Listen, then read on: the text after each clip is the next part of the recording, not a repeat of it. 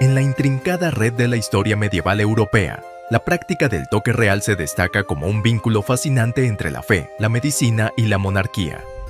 Esta tradición, arraigada en la creencia de que los monarcas poseían un poder divino de curación otorgado por Dios, ilustra la profunda interconexión entre lo espiritual y lo temporal en los reinos de Europa.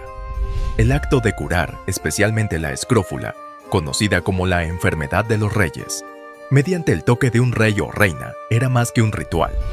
Era una afirmación poderosa del derecho divino y de la sacralidad de la monarquía.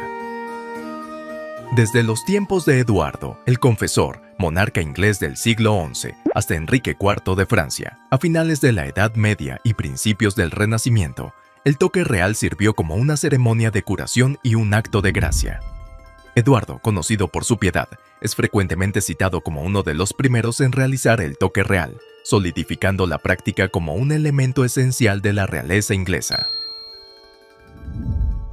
Del mismo modo, Enrique IV de Francia, cuyo reinado marcó el final del siglo XVI y el comienzo del siglo XVII, era conocido por su devoción a esta tradición, realizando ceremonias de toque real que reforzaban su papel como el líder espiritual y temporal de su pueblo.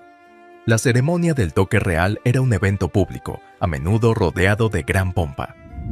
Los afligidos, muchos de los cuales sufrían de escrófula, eran presentados ante el monarca, quien los tocaba y a menudo ofrecía monedas de toque, amuletos bendecidos que se consideraban parte integral del proceso de curación. Esta práctica no solo proporcionaba consuelo y esperanza a los enfermos, sino que también servía para reforzar la imagen del monarca como un ser divinamente ungido, capaz de interceder directamente con lo divino.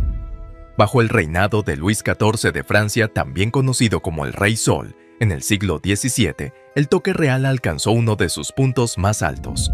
Luis XIV, cuya corte en Versalles era el epicentro del poder y la cultura europeos, practicó el toque real con gran fervor, viéndolo como una manifestación de su autoridad divina y su papel como el guardián espiritual de su reino.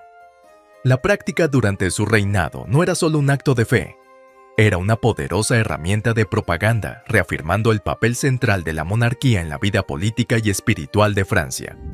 Sin embargo, a medida que Europa avanzaba hacia la era de la Ilustración, la práctica del toque real comenzó a ser vista bajo una luz cada vez más escéptica.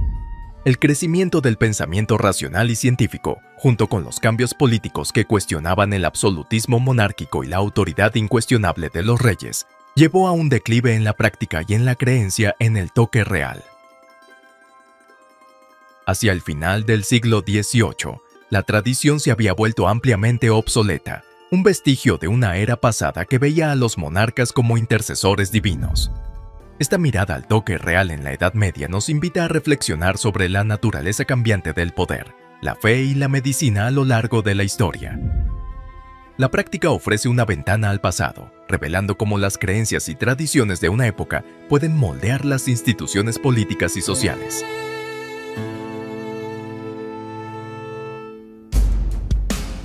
Te invitamos a compartir tus reflexiones sobre este fascinante aspecto de la historia, dejando tu like compartiendo este contenido y suscribiéndote para más exploraciones históricas. Juntos podemos descubrir los muchos hilos que tejen el complejo mosaico de la historia humana. Quédate en paz. Quédate con Dios.